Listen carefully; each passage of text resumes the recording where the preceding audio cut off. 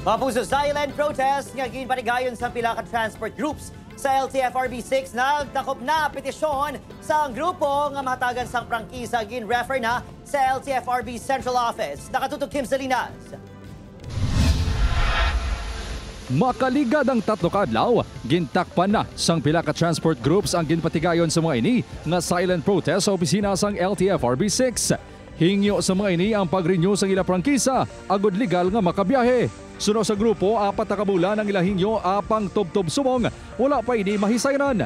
Ginpahayag sang presidente sang Kabakod Negros Transport Organization nga Agosto 28 sang nagpasar sang resolusyon ang Bacolod City Council nga nagapahanugot sa pagpa-renew sang prangkisa sang unconsolidated jeepneys. So gusto na mo ng LTFRB National, pagi sa depende sa jurisdiction ni RD, nga immediate nga kwaon niyang solusyon dito sa national, nga makarenew kami sa amon nga prangkisa. Apisar wala sang kaangay nga resolusyon nga napasar ang Iloilo City Council. Iniman ang panawagan sang unconsolidated jeepney sa Panay.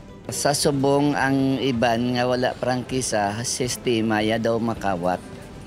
Kay nagabiyahe lang ina kun wala bantay. Suno sa Regional Director sang LTFRB 6 na forward na nila ang request sa Central Office kag nagpabutsyag nga may posibilidad nga ikonsiderar na ini.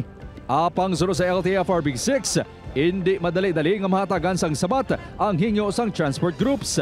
This decision will have to be nationwide if ever, kaya hindi man pwede na selective lang. Ang gusto nila, insigida yun.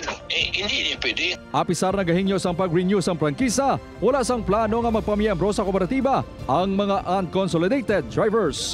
Pareho lang nga asawa mo, yatag mo pa sa iban. Upod Caramel Porquia, Kim Salinas, One Western Visayas.